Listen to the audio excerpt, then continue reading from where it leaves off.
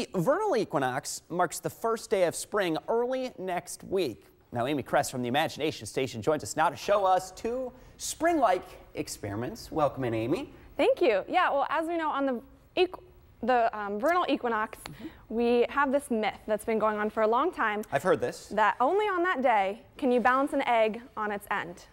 Now we have three eggs bouncing up here, right? Okay. It we have three eggs. Well, oh. one just I just bumped the table, so one fell right. down, but that's okay. Oh, and there goes We two. get the idea.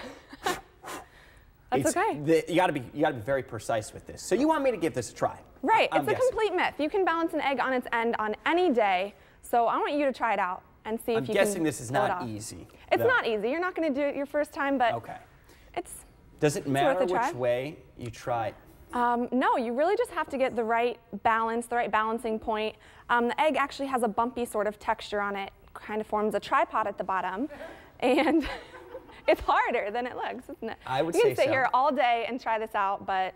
Um, you have, do you have a, a, tip for me to make this a little easier? Well, if you just can't stand it any longer, you're not getting it. There we go. We actually have a little, oh, there you go. I got it. yeah. Oh, you have to let works. go of it though? no, you're fine. Salt okay. actually can help us out a little bit though. So if we put some salt down and you go ahead and try it again, I'm going to try it over here too.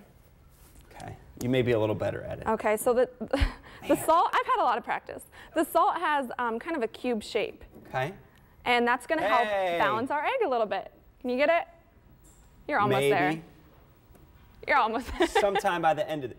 Oh, there we go. Awesome. You did it. All right, awesome. All right. Well, if you try this at home and you just don't have the patience to do this, there's another kind of activity you can try that has to do with eggs. Okay. And a couple other household items. Now we have these colorful beakers here. Just go you ahead and pick one of those out. Bring one over? Yeah. Okay. So we're going to be trying an egg drop. Okay. So Sounds messy. It can be. It can be. It can be. Okay, so, my kind of experiment. what we're going to do is we're going to set the egg right here. You can just use a toilet paper roll, okay. um, a pie plate, and you can use just a cup of water or something like that. Now, what you're going to do is try to get the egg to fall straight down into my beaker down here. Okay. Without touching the egg or the beaker, so you only want to hit the pie pan. All right, is everything okay over there? I got to give it a pretty good whack, don't I? You can. This is a secret. You need to chop and stop. That's okay. what we call it. The imagination chop station. Chop and stop. Okay. Chop and stop. Okay. so, let's give you a countdown. I have not practiced this. Okay, countdown. Here we go. Three, two, one. Oh, perfect. Great right. job.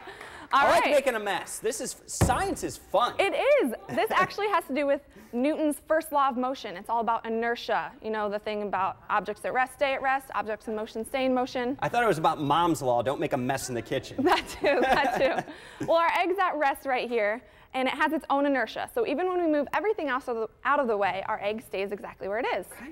Okay, but I think that was a little too easy for you. All right, we, we have time for one more little quick thing. All right, we're going to try a triple egg drop. We're going to do three at the same time.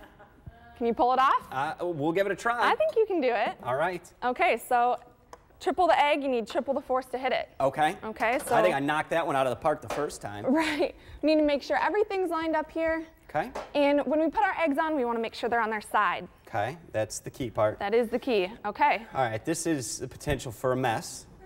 I think you got it. I think you can do it. All right, ready? Three, two, two one. one.